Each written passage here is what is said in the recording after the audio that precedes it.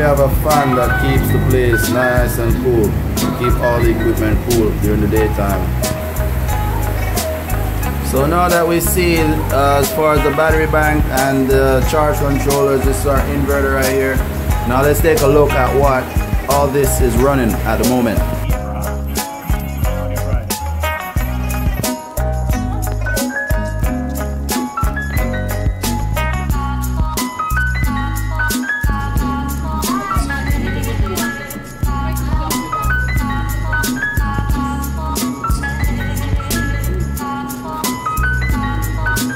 These are all being run by the solar system at the moment right now.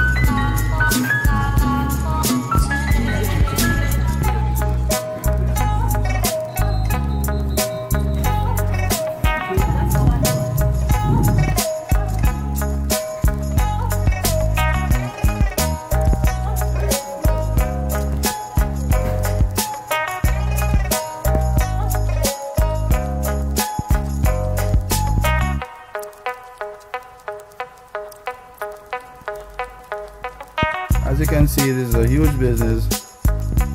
Lots of electrical equipment that's being run. Right now by a single Schneider Electric 6.8 kilowatt inverter.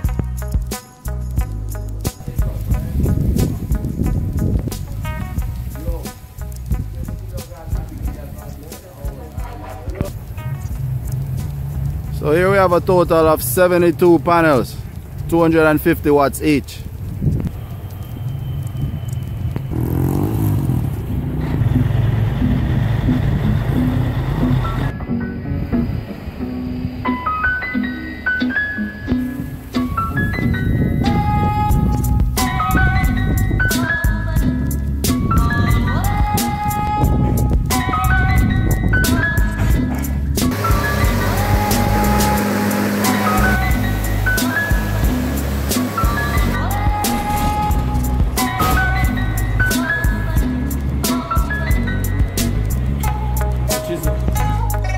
So there you have it. Uh, basically, the possibilities are endless.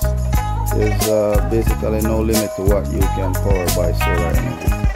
It all comes back to the amount of solar panels you have, the amount of batteries, and the load that you are running. Thanks for watching.